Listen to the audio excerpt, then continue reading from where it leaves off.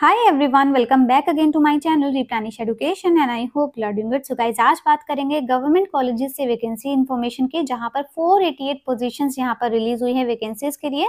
Permanent vacancy यहाँ पर रहने वाली है रेगुलर पोजीशंस रहेंगी, यहाँ पर मेरिट बेसिस पर आपका सिलेक्शन रहेगा।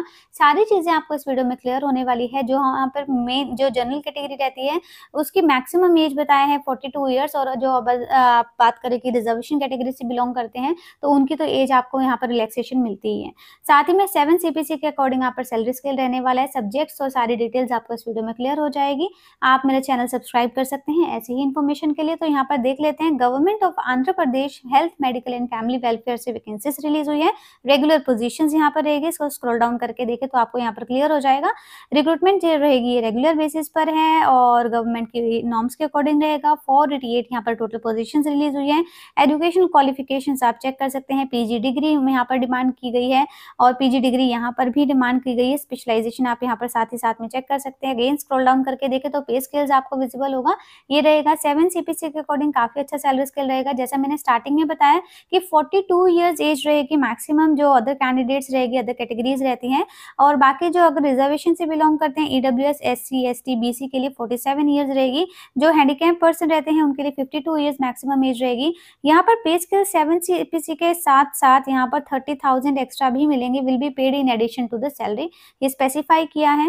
अगेन uh, आप स्क्रॉल डाउन करके देखें तो यहाँ पर आपको पता चलेगा सिलेक्शन प्रोसीजर क्या रहेगा। यहाँ सिलेक्शन प्रोसीजर में बताया है कि merit basis rule of reservation को भी ध्यान रखा जाएगा। मैरिट बेसिस पर आपका सिलेक्शन किया जाएगा। यहाँ पर टोटल हंड्रेड मार्क्स का यहाँ पर के बेसिस पर आपकी मेरिट बनेगी जो कि आपको यहाँ पर इन्होंने एलोब्रेट किया हुआ है कि कितने कितने मार्क्स किस किस परसेंटेज के यहाँ पर ग्रेड्स भी दिया जाएगा ए बी और बी प्लस बी नेगेटिव ऐसे करके यहाँ पर प्रॉपरली मैंशन किया हुआ है। चीज़ें। अब चलते हैं इनके जो सब्जेक्ट्स रहेंगे उसको हम क्लियर कर लेते हैं। सब्जेक्ट्स जाने से पहले मैं बता देती हूँ, जैसे आपको ऑनलाइन अप्लाई करना है लास्ट डेट रहेगी नाइन्थ ऑफ़ सेप्टेम्बर तक आपको ऑनलाइन अप्लाई करना है। थाउज़ेंड रुपीज़ फ़ी रहेगी कैटेगरीज के लिए, जो कि जनरल के लिए रहेंगे। फाइव हंड्रेड रुपीज़ फ़ी रहेगी B C S C E W S S T और पी एच कैंडिडेट्स के लिए फाइव हंड्रेड रुपीज़ फ़ी रहेगी। ऑनलाइन ही इसमें आपको पे करना होगा फ़ी भी। अगेन स्क्रॉल डाउन करके देखें तो यहाँ पर डिटेल्स पता चल जाएँगी आपको जो जो आपको अटैच करना है। अब यहाँ पर बात करेंगे जो सब्जेक्ट्स रहेंगे। जैसे कि एन रहेगा थर्टी थ्री यहाँ पर वैकेंसीज लेकर आए हैं। डेमेटोलॉजी में फोर रहेगी इमरजेंसी मेडिसिन में रहेगी फिफ्टीन ई e के लिए रहेगी एट जनरल मेडिसिन के लिए रहेगा यहाँ पर थर्टी फोर वैकेंसीज हैं।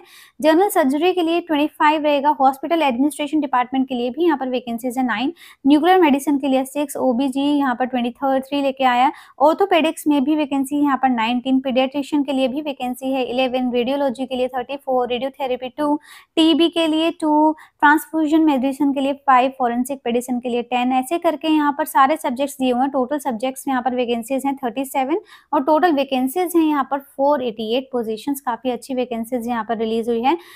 जैसा कि मैंने आपको डिटेल्स बता दी है अप्लाई करने के बाद अगर आपको इसमें कोई भी फॉर्म्स चाहिए होता है, कोई भी एनेक्स्ट्रास चाहिए होते हैं, वो यहाँ पर इन्होंने यहाँ पर सारी चीज़ें फॉर्म्स में अटैच करके दिए हुई जो कि आपको अगर रिक्वायरमेंट है, अगर आपको यहाँ पर फिल करना है तो वो आप फिल करके इसमें लगा सकते हैं। तो आई होप ये इन्फॉर्मेशन क्लियर हो गई है। अगर ऐसे ही इन्फॉर्मेशन आपको पसंद आती है तो वीडियो को लाइक ज़रूर करें चैनल ज़रूर सब्सक्राइब करें। साथ ही में सजेशन ज़रूर दें। मैं आपको सजेशन का बहुत ध्यान रखती हूँ। जैसे लास्ट कैंडिडेट्स ने मुझे बताया कि एजुकेशन के लिए चाहिए या मैकेनिकल इंजीनियरिंग के लिए सब्जेक्ट्स चाहिए तो मैं जल्द ही आपके लिए वो इन्फॉर्मेशन भी लेकर आने वाली हूँ। So guys thank you and have a nice day